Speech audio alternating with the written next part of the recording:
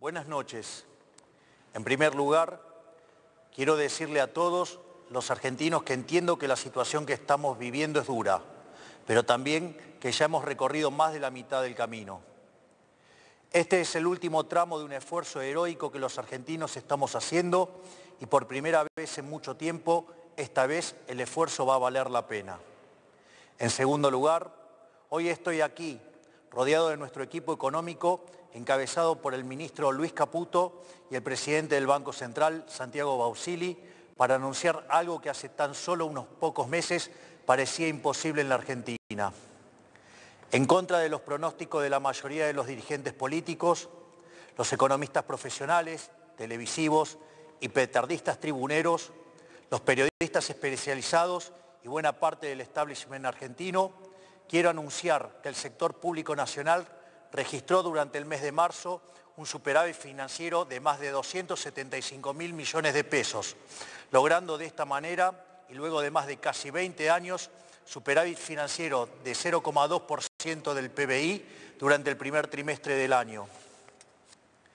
Este es el primer trimestre con superávit financiero desde el año 2008, un hito que debe enorgullecernos a todos como país, en particular dada la estrepitosa herencia de la que tuvimos que hacernos cargo. Este concepto, el de superávit fiscal, que parece simplemente una definición técnica que no hace a la vida de los argentinos, no es ni más ni menos que el único punto de partida posible para terminar de una vez y para siempre con el infierno inflacionario que fue la Argentina desde la caída de la convertibilidad, con habernos convertido en el mayor defolteador serial del mundo y a tener la presión impositiva más alta del mundo. El superávit fiscal es la piedra angular desde la cual construimos la nueva era de prosperidad de la Argentina. Haber logrado ese superávit en Argentina, que ha tenido déficit 113 de los últimos 123 años, habiendo recibido este gobierno un déficit consolidado de más de 15 puntos del producto entre déficit del Tesoro y déficit del Banco Central y haber ajustado 13 puntos de ese 15 en tan solo tres meses de gobierno es lisa y llanamente una hazaña de proporciones históricas a nivel mundial. Por esta razón es que quiero tomarme unos minutos para explicarles a todos con qué nos enfrentábamos, cómo logramos cumplir tamaña hazaña y por qué es tan importante para la vida de todos los argentinos mantener este rumbo. He explicado en reiteradas ocasiones que cuando asumimos el enorme desafío de conducir nuestra nación, encontramos un país quebrado y al borde de una hiperinflación. Teníamos un déficit de 5 puntos del producto en el Tesoro y un déficit financiero de otros 10 puntos en el Banco Central. Teníamos una brecha cambiaria de casi 200% entre el dólar oficial y el dólar libre y un sobrante monetario similar al que teníamos en la previa del Rodigazo, una de las peores crisis de nuestra historia. Sumado a esto, teníamos una deuda no reconocida con importadores por más de 50 mil millones de dólares y una deuda en pesos por el equivalente a 90 mil millones de dólares. El acuerdo con el Fondo Monetario Internacional estaba caído y durante la primera semana de nuestro gobierno la inflación venía corriendo al 1,2% diario. Es decir, asumimos el gobierno con la inflación corriendo al 7.600% anual, con un sobrante monetario y un banco central quebrado que hubiese llevado la inflación al 15.000% anual. Esto significa que asumimos el gobierno con un sobrante monetario peor al del Rodrigazo, una destrucción del balance del Banco Central peor que la hiperinflación del 89 e indicadores sociales peores a la de la crisis del año 2001, lo cual significa que nos enfrentábamos a la peor crisis de la historia de nuestro país por eso, desde que asumimos, nos enfocamos en dos cuestiones esenciales. En primer lugar, dijimos que la causa de todos los males en la Argentina era el déficit fiscal, ya que producto de la obsesión de los políticos argentinos por gastar lo que no tenemos y agotando las fuentes de endeudamiento y la suba de impuestos, recurrían a la emisión monetaria, que es la única y probada causa de la inflación. Tomamos el toro por las astas y anunciamos desde el primer día que con nosotros se acababa el déficit y en consecuencia se acababa la emisión monetaria y la inflación. En segundo lugar, dijimos que dada la gravedad de la situación que habíamos heredado, los argentinos no teníamos tiempo para un nuevo experimento gradualista y avanzamos en el programa de estabilización de shock más ambicioso de nuestra historia. Así es como hemos logrado alcanzar el superávit financiero en tan solo un mes de gobierno, un hito que no tiene parangón en la historia del mundo occidental. Hoy podemos afirmar sin lugar a dudas que, pese a la oposición de buena parte del establishment económico y político de la Argentina, pese a quienes sistemáticamente ponen en cuestionamiento nuestras ideas y pese a quienes directamente pregonan por nuestro fracaso para volver al poder, el gobierno tenía razón y nuestro plan está funcionando. Este milagro económico que ha sido lograr superávit financiero trimestral luego de casi 20 años, habiendo recibido la herencia que recibimos, responde, a diferencia de lo que suelen afirmar los que quieren el fracaso de este gobierno, en enorme medida a lo que durante la campaña llamamos motosierra, y no, como dicen algunos, a la licuación del gasto público, método que históricamente se ha utilizado en nuestro país. De los cinco puntos del déficit del Tesoro que hemos ajustado, solo 0,4% responde a la pérdida del poder adquisitivo de las jubilaciones, pérdida producida por la nefasta fórmula de movilidad de Alberto Fernández que quisimos modificar en la ley base y que luego tuvimos que modificar por DNU, frente a la falta de voluntad de algunos sectores políticos. El restante 4,6% de ajuste que hemos logrado se debe íntegramente al recorte del gasto público que la política utilizaba indiscriminadamente para comprar voluntades. Una práctica inmoral que explica buena parte del fracaso económico de las últimas décadas. Haber logrado el superávit de la manera que lo hicimos, es decir, priorizando el recorte del gasto y no la licuación del mismo, es extremadamente importante porque le da sostenibilidad a las cuentas públicas y porque por primera vez en mucho tiempo no se le traslada el costo del ajuste a toda la población argentina, sino solamente a aquellos que fueron beneficiados por el modelo empobrecedor del pasado. Para mencionar algunos ejemplos, destacamos la reducción del 76% de las transferencias discrecionales a las provincias, un sistema tóxico con el que el Poder Central repartía recursos de todos los argentinos a unos pocos que se sometían a la voluntad del Gobierno Nacional. También una reducción drástica del 87% en la obra pública, históricamente vinculada al festival de corrupción que ha sido la Argentina los últimos 20 años, donde se gastaba dinero los contribuyentes en rutas que no conducían a ningún lado o en obras que se inauguraban cinco veces y nunca se terminaban. En nuestro modelo las obras de infraestructura pasarán a ser financiadas por el sector privado, de manera tal que efectivamente tendremos las obras que los argentinos necesitamos, evitando que ese dinero termine en los bolsillos de los políticos o sus amigos contratistas del Estado. Además de estas medidas, hemos reducido la estructura del Estado, eliminando el 50% de los cargos políticos, cerrando organismos innecesarios que se usaban para perseguir a quienes pensaban distinto. También eliminamos la pauta publicitaria, como habrán notado por la reacción de los medios, que con otras medidas redundaron en una reducción del 22% de los gastos de funcionamiento del Estado. Es decir, a diferencia de lo que muchos afirman, no solo ha sido posible terminar con el déficit fiscal, sino que lo hemos hecho de una manera que es económicamente sustentable y moralmente deseable, ya que por primera vez en la Argentina no pagan justos por pecadores.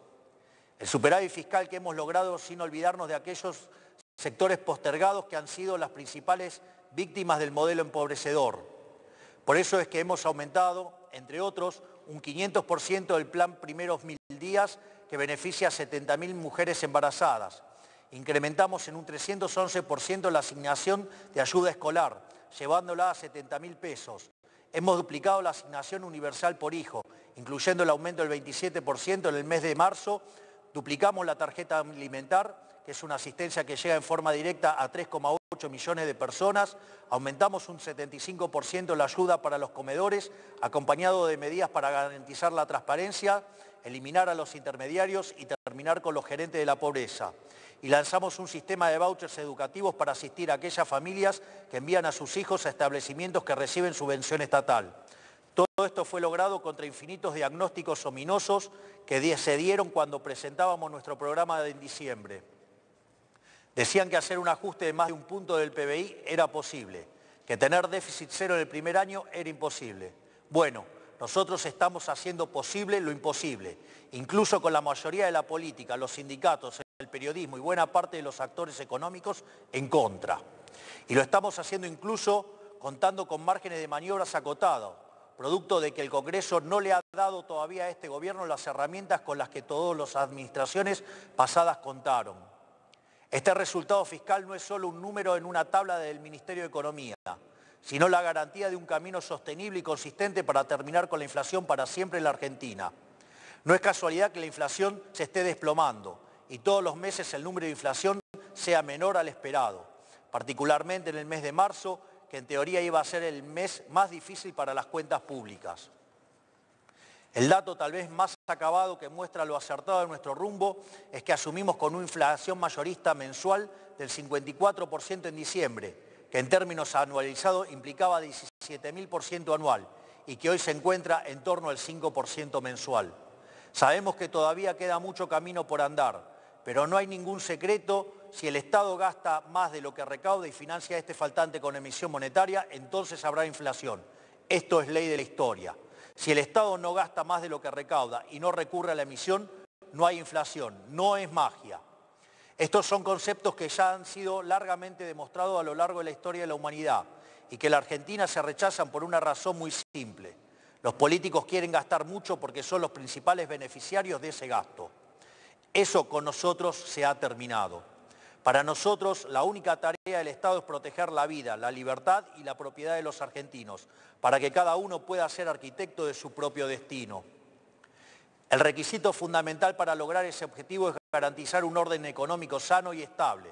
Esos son los cimientos sobre los que se construye el resto del edificio. Un orden económico estable para que los argentinos se asocien, entablen contratos, compren, vendan, trabajen y comercien libremente. O sea, para que puedan hacer un ejercicio pleno de su libertad y llevar adelante su proyecto de vida. Una economía estable para que los argentinos puedan ahorrar y proyectar sus vidas porque saben que nadie les quitará el fruto de su trabajo. Una economía estable, con un sistema de precios libres, con señales claras para que quienes emprendan o lleven adelante una actividad económica puedan planificar e invertir, porque confían en que les va a ir bien. Esa es la tarea del Estado, generar las condiciones básicas para que la sociedad y la actividad privada florezca. Por eso, quiero aprovechar para decirles a todos aquellos que esperan que la salida venga de la mano del gasto público, a todos aquellos, tanto en el mundo de la política como del establishment económico, que creen que estos éxitos son coyunturales y que eventualmente tendremos que empezar a aumentar el gasto, quiero decirles que eso nunca va a ocurrir en nuestro gobierno, porque para nosotros la inflación es un robo y el déficit fiscal es la causa de la inflación. Por lo tanto, el déficit cero no es solo una consigna de marketing para este gobierno, sino que es un mandamiento. Esto quiere decir que cada peso que le sobre al Estado Nacional, lejos de aumentar el gasto, será devuelto a los argentinos a través de reducciones de impuestos.